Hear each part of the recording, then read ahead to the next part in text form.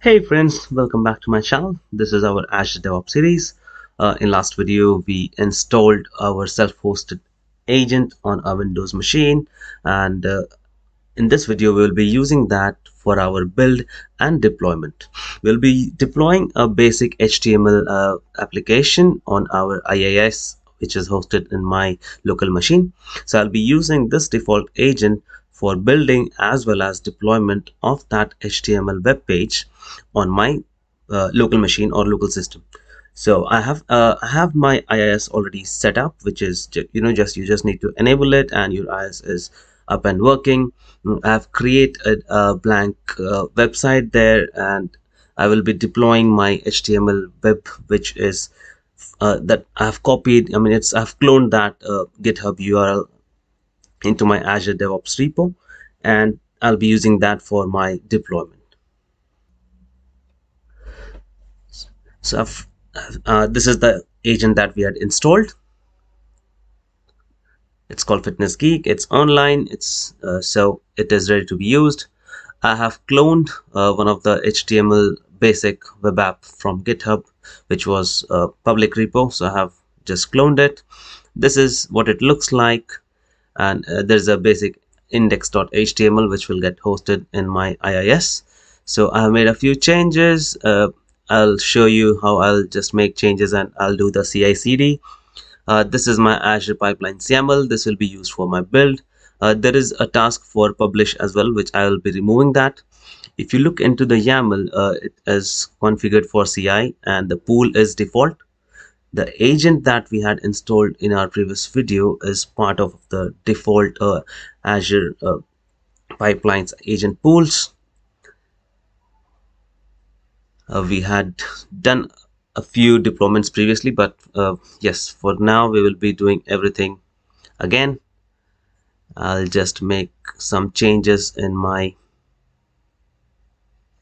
index.html and once I make the changes and I commit it should start my build process. I need to just make that change here.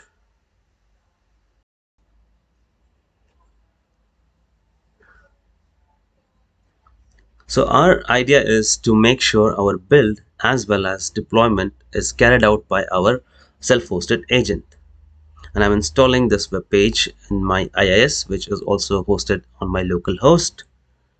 And once uh, this is the IIS I have created this website. I have a folder that is linked which is my web app. It currently does not have anything.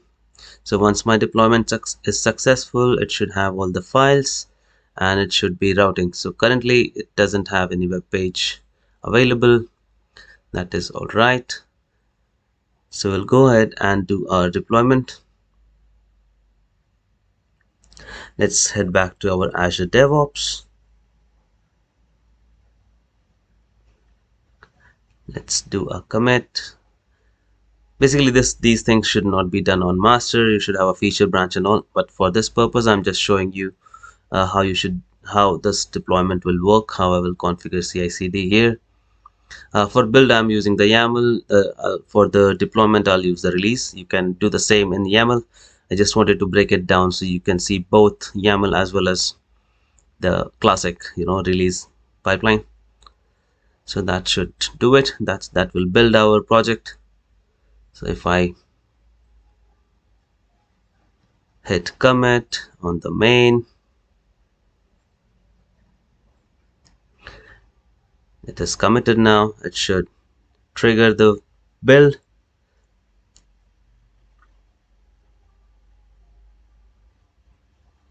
if you see the trigger is main.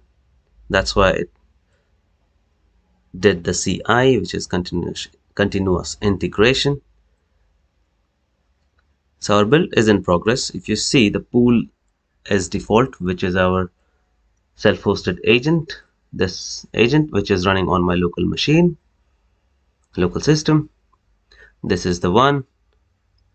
It is currently running.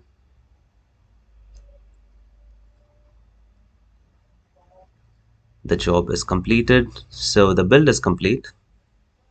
That's the build. I have not configured this CD that is continuous deployment. So it has dropped the file the artifacts and I have configured my release pipeline accordingly to pick up this file and deploy it.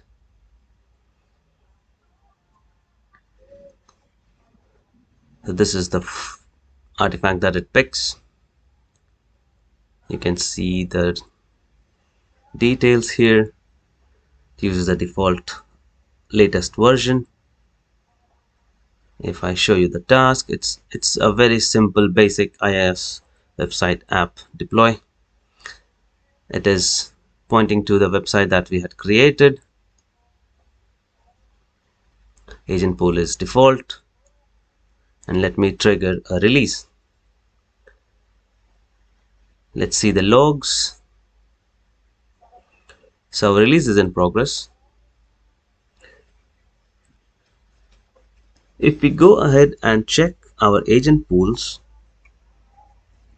the self-hosted fitness geek agent should have a job running so this is the job that is actually deploying our web app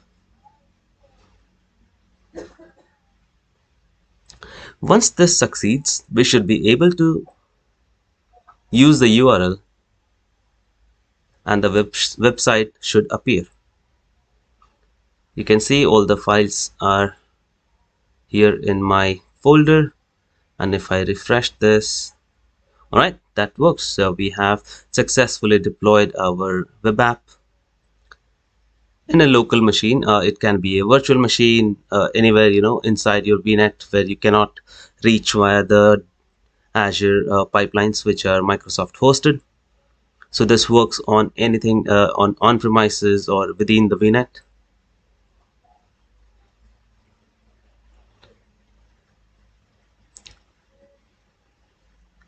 let's quickly make a change here just to show you how CI CD can be deployed here. So I'll make some changes. Uh, CI is already there so for CD I'll need to just enable my release pipeline. So whenever the build whenever there is a new build it should uh, a successful new build it should trigger my release pipeline.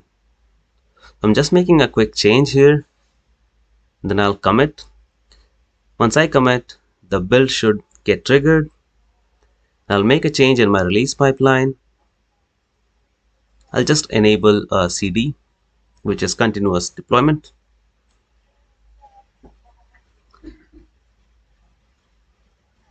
So the build has triggered. If I go to releases, this is my release pipeline. I'll just do a edit.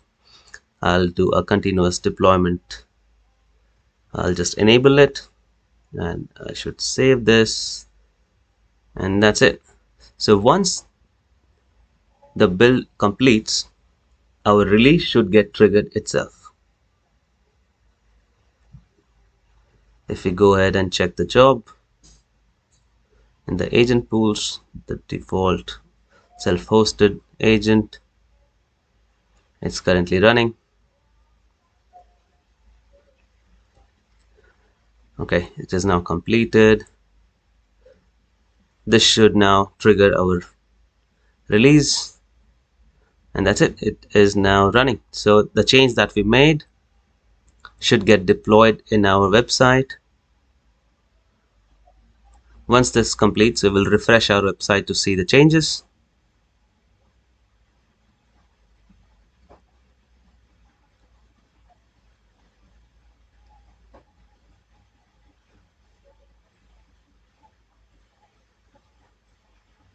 so the deployment is successfully completed. We should be able to see the changes. If we go here let me just quickly refresh. You can see the changes that we made. So that's how you do build and deployment using a self-hosted agent. You can use this to deploy in any of the Azure services or any on-premises uh, servers web servers that you host yourself or you have some uh, web servers uh, in your uh, Azure uh, VNet uh, be it Azure VMs you know so you can use this these self-hosted agents for build and deployment. These are one of the you know good practices when it comes to securing because if you have an azure web app where you do not allow you do not want you know any of the uh, you know if you have uh, hardened the access restrictions then you don't need to uh, whitelist or uh, you don't don't need to have the service tag for azure devops. So you can you know uh, have a very secured web app any web app or, or the services that you host there. And you can only whitelist one public IP which is your self-hosted agent. And you can also do it via uh, the private endpoints. So it gives you a lot of secure ways of deploying and building your projects. So that's all for today. Uh, thanks for watching and keep supporting